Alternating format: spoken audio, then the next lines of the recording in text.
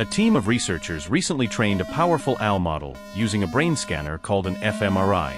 The OWL watches the brain's electrical patterns and converts them into pictures.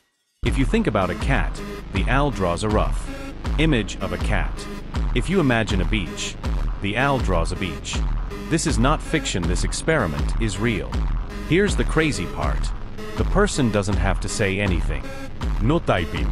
No voice. Just thinking about something. And the OWL decodes it. It's like giving a computer access to your imagination.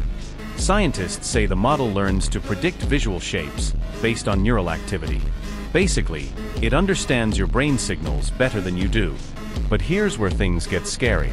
If OWL can decode simple thoughts today, what will it decode 10 years from now? Your dreams? Your fears? Your private memories? Imagine a world where your mind is no longer private. A world where your thoughts can be hacked, or even recorded. Scientists claim this technology is safe because it needs expensive machines. But technology always becomes smaller and cheaper.